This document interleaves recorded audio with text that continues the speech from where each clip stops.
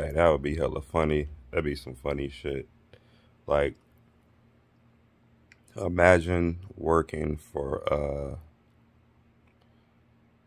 for a science company in particular, like like you got assigned to work uh under the tutelage of uh Stephen Hawking, right?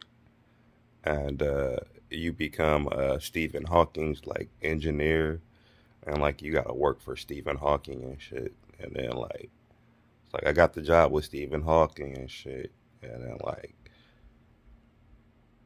and it's like, well, all right, yeah, you you work underneath him, so like Stephen Hawking is gonna be ordering you around to do shit.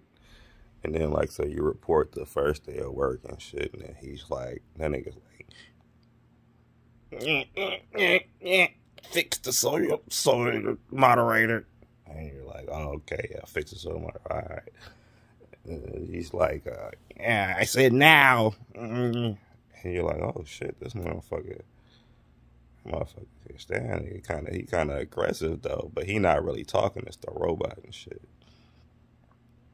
You know what I'm saying? And you like, hold on, Stephen, you know what I'm saying? I'm like, Stephen, Stephen, I'm I'm doing this shit. He like, motherfucker, I said uranium. Yeah, ah, that's you put you put you put too much uranium. You fucking supposed to put uh, Ber- Berkeley on you fucking idiot.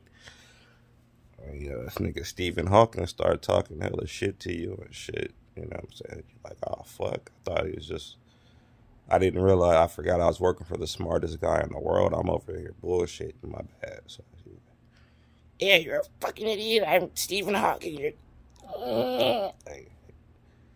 That shit would be fucking crazy, but it's like that. That's just the first day of work, and then like you got to work for Stephen Hawking for years now, and he's just fucking ordering you around for years.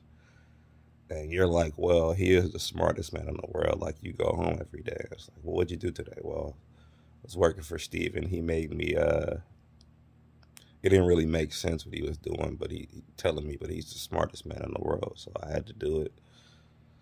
And uh, make me a wheelchair that talks for me, and I just fucking shut up. Like,